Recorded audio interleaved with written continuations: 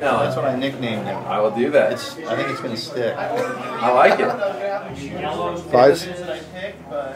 Cool. This is the new 5 fin S Winger. It's been out about a little over a year now. And it has the scimitar, uh, concaved on the sides, the pivot fins, and the trailer from the twin fin set of the future fin system. Uh, also, it has the S rail, which is thinned out here. You got more flotation for this area, and then you got a real thin bitey rail back in here.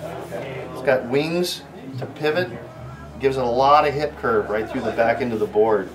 Also, one of the features that I started a long time ago is the beveled rail. This bevel makes the hard edge lifted and more forgiving.